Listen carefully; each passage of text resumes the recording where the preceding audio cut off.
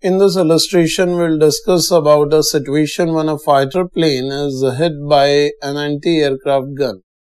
Here we are given that a fighter plane flying horizontally at an altitude of 1.5 km with a speed of 720 kph passes directly overhead an anti-aircraft gun.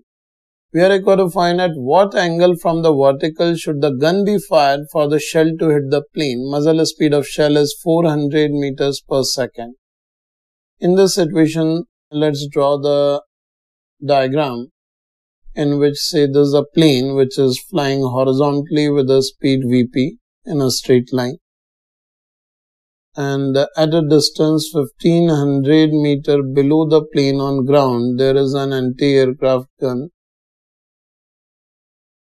which is fired at uh, an initial speed say u with an angle of projection theta with respect to vertical. It should be in such a way that by following projectile, the shot will hit the plane at some point.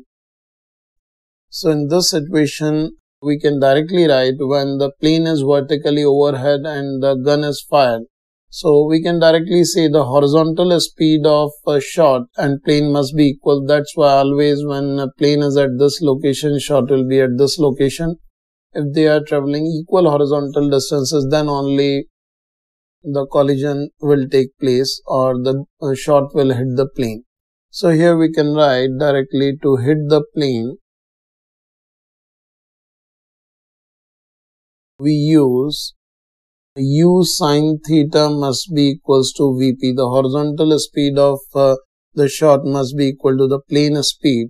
And uh, in the situation here, you can directly see the value of muzzle speed is given as 400 and uh, the plane speed is given as 720. We can convert it uh, its units to meter per second. So this will be 400 sine theta is equals to 720 multiplied by 5 by 18 here it is equals to 200 meters per second. So you can see the value of sine theta is 1 by 2 and the value of theta is 30 degree. That would be the result of this problem. To hit the plane the gun's barrel must be at an angle 30 degree with respect to vertical